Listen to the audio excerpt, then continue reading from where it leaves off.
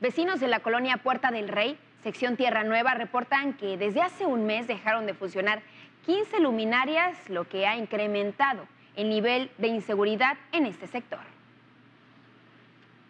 En un problema de inseguridad se ha convertido para los habitantes de la colonia Puerta del Rey, sección Tierra Nueva, el mal estado de las luminarias. Dicen que son como 15 las que han dejado de funcionar desde hace más de un mes. Los vecinos afectados manifestaron que el alumbrado público ya fue reportado ante la instancia correspondiente y no han obtenido respuesta. Recientemente, una estudiante fue asaltada cuando se dirigía a su casa. El delincuente le robó el celular, aprovechándose de la obscuridad de la calle.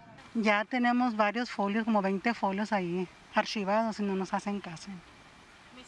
genera mucha inseguridad. Sí, mucha inseguridad, parte de robos, pues. Mucho robo también. No tenemos eh, seguridad pública. Pasan, dan un rondín y ya prácticamente los, los delincuentes ya le agarraron el horario a las patrullas. Y pues eso es lo que queremos también, que haya más seguridad, más alumbrado público. Confían que con las luminarias funcionando bajarán los robos y asaltos en ese sector de la ciudad.